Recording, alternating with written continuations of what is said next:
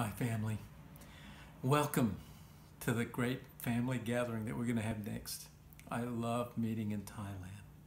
This will be a very different personality than what we experienced in Kansas City. This, of course, is the Asians that are welcoming us into their world, their culture. And I can't wait. There is a sense of expectancy in my spirit because we're in such turbulent times. There's such a season of change there's such a foundation in these last 50 plus years for the future. And it's a new generation of younger leaders that are inviting us as well.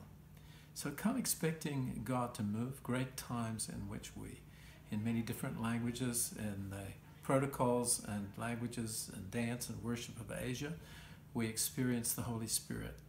Of course, this is where most of the people in the world live, and God has a huge heart for this and all of us are interacting at the level of economics and global communication. And uh, God has a destiny for our children, spiritually and naturally, to come and go from that part of the world.